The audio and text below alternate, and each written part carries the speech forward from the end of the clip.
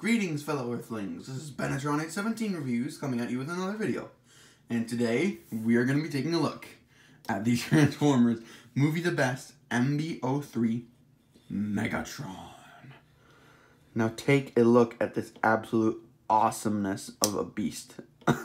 this is a great Megatron. Um, he's not that big, honestly, but like he makes up for it in paint and articulation and features, all that stuff. Um, excuse me, he's very, very cool. I've actually always wanted the Revenge of the Fallen Megatron since I was a kid, since before the Studio Series 1 was announced. And I still want it, and I got it now, so that's pretty cool. But I just think this one has it's superior to the Studio Series version, as my friend, or, you know, well, as JC, JCCC, 22, JCC224 said, um, that he prefers this one over the um, Studio Series one. And I absolutely agree. The movie, the best one, actually, in particular, over the 13. The Battle Damage one is a different story. That one is actually got a lot better paint apps, and they fixed some quality control issues, I believe, like on those back knee pads here, those shin pads. Um, but yeah, this guy, these things don't fall off. The shin pads don't fall off on this guy. Um, he's not hollow, and he just has better paint apps, and that really makes a world of difference. All that stuff when you're playing with a figure. Um, I mean, like when you have a figure and displaying it and stuff, and just a good around like having a good figure representation of that character. Um sorry, that was a mouthful. Um basically he's really cool. He just has a lack of articulation a little bit in the fingers and that's pretty much it. He's got more articulation than the Studio Series one otherwise cuz he's got waist swivel, um head's on a ball joint, um he's got all kinds of articulation. I guess he's missing that thumb that was on the side here, but that's not a big deal. Um he doesn't have ankle pivot at all, but that's all right because he's got toe articulation and he's got a thigh swivel, so he kind of makes up for it. He can balance pretty well, honestly. So you don't really need it. But um, here he is, and in his robot mode, and he looks glorious. I mean, just amazing. so let's take a look at the detail, shall we? So here's his face. He does have, I don't know if you can see that. Maybe if I turn the light on here quick, the lamp. Okay, that's a little bit better. Um, let's see if, there we go. Look at that red. He's got some light piping in his eyes there. Which looks really, really beastly and cool. Um, and he got all these gold highlights in his chest and silver.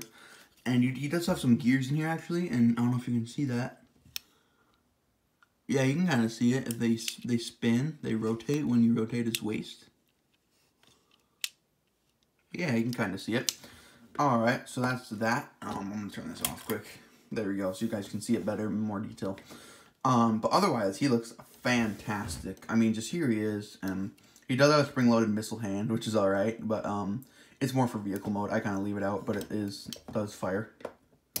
so that's pretty cool. Um, and yeah, he does have a little bit of a backpack, which is a little bit of a downside, but it kind of looks cool because it's like a cape and stuff, and I really like this design.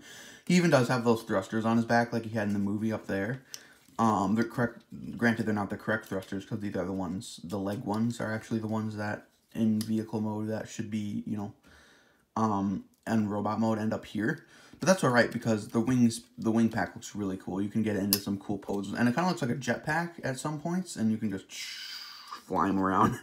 he looks really cool, honestly. This is there's a lot of ways you can display him. Like with a lot of Revenge of the Fallen figures, sometimes things don't tap into. It gives you a lot of, which is a good and a bad thing because on the bad thing, you know, it doesn't tap in, but on the good good good side, um, it's got a lot of playability and like ways to pose the figure. Like the I'm thinking the deluxe Soundwave from Revenge of the Fallen, uh, and um, the Don't Get Me Started on the Studio Series one, who I just bought, but again, I'll just put them in here.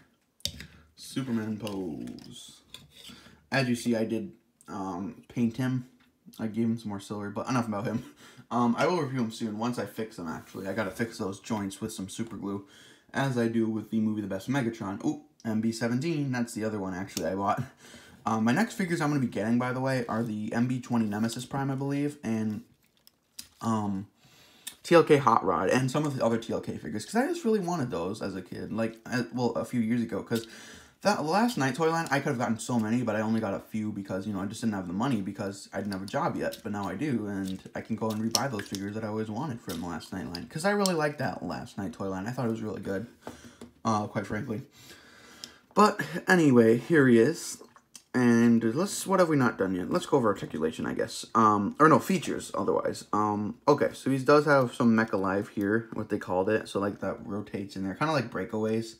If you rotate the elbow, that, like, it spins in there. So that's, like, not the biggest one, but the biggest one was the chest and, of course, the fusion cannon.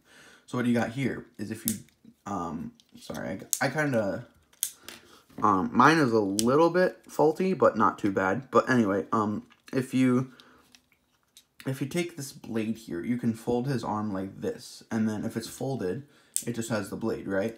And if you straighten it, um, well, the blade should come out it's like that. So it straightens out. And if you hold the blade, it'll like move with the lock, basically. It'll move with the gears, which is really cool. Um, I did glue mine and well, I didn't glue mine. Um, I actually put some floor polish on the on the gears here. I don't know if that was a mistake, but the feature doesn't really work anymore, but that's okay with me because, you know, um, it keeps it like this. Because before, if I extend it, it would only go as far as that. And, like, if it was spring-loaded, you know, like with the gears. But now I can make it go all the way up to here and stay in place, sort of, kind of. Um, it still, like, droops down a little bit like that because of the springs. But, um, it's better as than it was, definitely. Like, the blade doesn't just sit here. It, like, actually goes here now. So I just, like, fold it back in and forth. So it makes the gears kind of useless, but that's okay with me. Because, you know, I did just put some floor polish.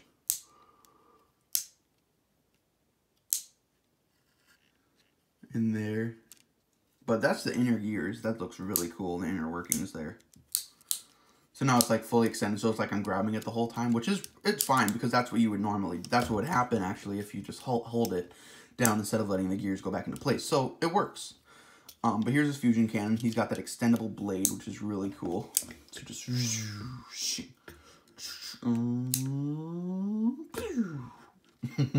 yeah, that's the fusion cannon sound. I love that sound, by the way, from Revenge of the Fallen.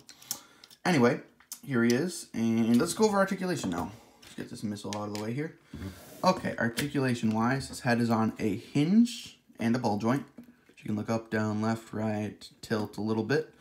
Um, these things are on ball joints too. These hook under here though. Um, they hook over this back, the backpack, so it keeps it in place. Um, shoulders can move forward, uh, in and out basically, and they like in that concept art when he's like this, like, oh, I'm gonna charge you, like when he's doing that. And then, um, you got soft ratcheted uh, joints moving forward and back on the shoulders there, which is pretty cool. On the shoulder spike moves back and forth if you want it to. Um, bicep moves in and out. He's got a bicep swivel.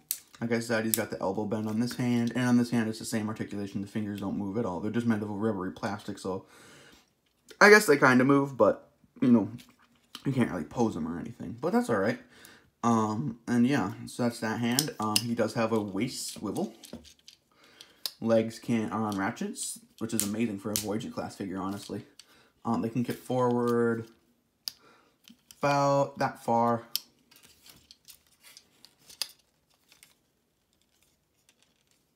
That's pretty good. and then they can go back that far. And then they can go outward. He can do the full splits. He does a thigh rotation. Um, he does have this outward knee joint due to transformation, but you don't really need that. Um, then he's got these double jointed knees, of course, like he has the chicken legs. And he's got toe articulation and a little bit of heel articulation, but not much. And yeah, that's pretty much all the articulation he has. He is very awesome, though, in terms of articulation. Okay, so now let's get into comparisons. So, if we can get him standing straight here, which normally he doesn't give me a problem with, but today, of all days, he is having a problem. No, I'm kidding. He's good. There we go. All right, so here he is compared to his mortal enemy, Monfil Decepticons Battle Blades Optimus Prime, also known as the um, Age of Extinction. Um, uh, what was it called? Movie Advanced uh, 8012 Optimus, I believe. So there he is with him. So he, they're about the same height, honestly, so that's pretty good matching. Um, I kind of like Optimus Megatron as the same height, personally. I know he should be bigger, but, like, it's alright with me, this for the scale. Here's my custom Studio Series, oop, there's the back with the thrusters, um, Studio Series Starscream who I just got by the way, who I'll be reviewing very soon. Who I got an upgrade kit for, but it doesn't really fit too well except for the minigun. But um, he came with missiles, the jet boosters on the back. But I don't really care about the jet boosters because I already have a Starscream that has them, and I'm gonna get them. Uh, um, the masterpiece version probably sometime with the you know because it comes with the jet boosters like built in, which is really cool. The MP10, I believe, MPM10. Um, yeah. Um, so that's pretty cool. Um, and here he is with the minigun. So here he is next to Screamer. My favorite two Decepticons. So there they are together. Um, Starscream's a little taller, but if you count him up to the this section right here, then it counts. But up to the head, he's a little taller. Um, but up to the backpacks, they're pretty much the same. Okay, and then of course next to oh poor Jazz, um, who I gotta fix with super glue by the way too, because his arm this arm gets really floppy after a while because of the huge BFG, you know that cannon he has, that um crescent cannon, um that just yeah, that gets in that that, that just weakens his arm after a while. So yeah, but here he is with Jazz, so he's towering over Jazz, obviously. Um, and then next to his master, the Fallen. Here he is next to his master. There we go. Alright, he is next to the Fallen. So he obviously is shorter than the Fallen, like he should be. But he, that looks about right. Like, Megatron's 35 feet, the Fallen's 40 feet. That actually looks pretty a little bit better than the Studio Series Megatron with the Hunter Decepticons Fallen. But if they do make a Studio Series one, I will get that. And of course, I'm getting the Battle Damage Megatron eventually too. But for a non-battle damage of Fallen Megatron, I'm sticking with this guy because he's really cool. Um, yeah, so I think that's about it for comparisons. Now down to transformation. Okay, first up, what you're want to do is you're want to come to the backpack here and untab this and then you can hinge that down on that hinge right there. All right, now what? All right, just fold these wings all the way out. Um, fold these out, fold these tips out. Depending on how you have the backpack oriented, and they might be like up like this, so you might have to fold those out like a cape, like they said. Like I said, sorry. Okay, now you're gonna want to fold down this part, um, bring these pieces down together Hopefully they don't come untabbed. And then hinge the head up on that double hinge there. And now you can take these bracket pieces and just tab them together and it will sit right above his mouth there. Which is really cool. So it like kind of hides his face better than the um, Studio Series one actually. Robots in disguise, am I right? yeah. Good joke. um, anyway, then you want to rotate this first shoulder in, which is a really cool bit of transformation, honestly. And then you can rotate the arm, so the missile uh, trigger, the translucent trigger is facing forward. Okay, and then you can come here to the back, and he's got nice translucent red bits on him. That's really shiny and really cool, actually. Um, you can rotate this arm back like that, and just, it, it will sit back there for now. I believe, yes. So it'll be kind of hidden by the backpack, which is a good thing because that's how you want it actually.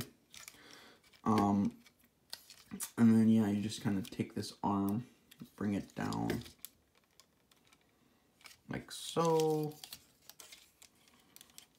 All right, and then what you're gonna want to do is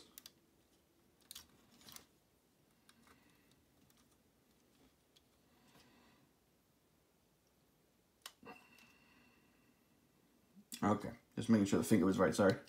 Okay, and then you're going to come out of the feet here, fold up this panel, ooh, which reveals some exposed, now exposed tread bits. And then you're going to take those, flip those out, straighten those out, and then you're going to want to close this panel back up.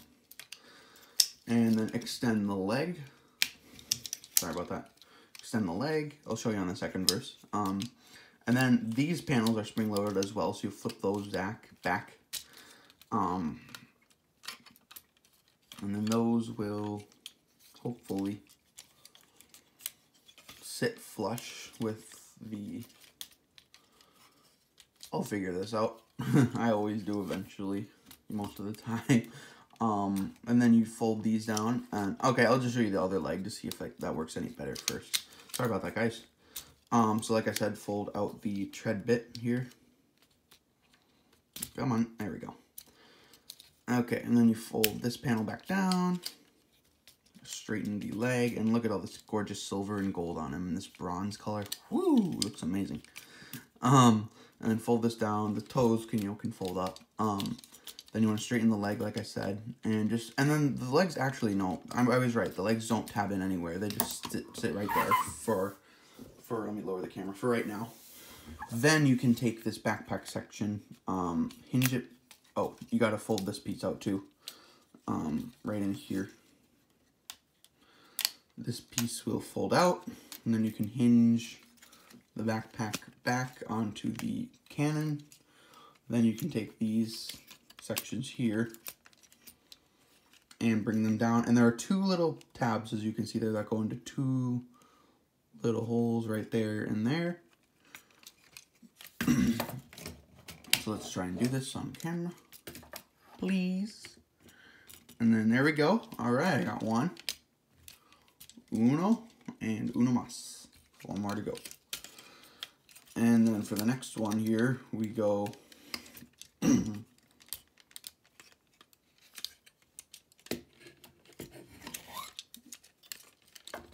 tab this in over here, hopefully. Excuse me. Yeah, just gotta get the shoulder, there we go, just gotta get the shoulder situated, sorry. Soldier shoulder, shoulder, shoulder, shoulder, shoulder, shoulder, shoulder, shoulder, tongue twister. um, and then you tab those in there, and then you just bring these wing pieces down, like so. And those will just sit down there. They won't really tab in, but they'll just sit there. And there you have it, I think. Maybe, sort of, kind of. Yes, there you go. Alright, there you have the movie The Best Megatron transformed up into his tank mode. And if I can get this little piece tabbed in here, that would be fantastic.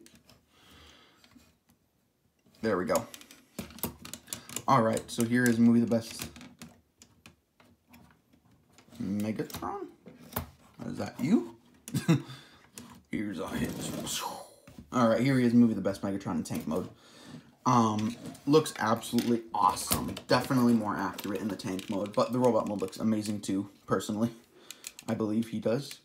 So he's got these big thrusters in the back here, which look really, really cool. Spring-loaded, and he's got these other thrusters here. Not much kibble at all. Very nice Decepticon logo, and all this gold looks beautiful mixed in with the silver. Um, he's got these wing pieces, which are actually accurate to the movies to make the flying tank look. And he's got the turret, and these pieces here, which sometimes don't stay down. This one does a better job of it for some reason. This one, oh, it's probably because the shoulder is like blocking it. Because this shoulder doesn't really go in anywhere. So maybe I just got it. there we go. Just had to push it in a little more. But anyway, here he is. And then this little rubber piece here will cover that, which is really nice. But anyway, he can also, the tank turret for articulation, it does rotate side to side. And it does go up and down. So better than the Studio Series version, honestly. Um, these are the four plastic wheels which roll, but they make the most terrible sound I've ever heard.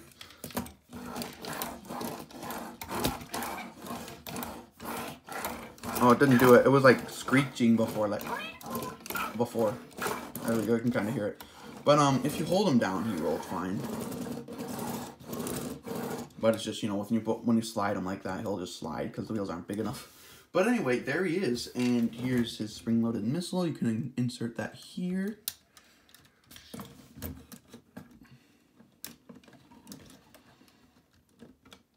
And that will tab in.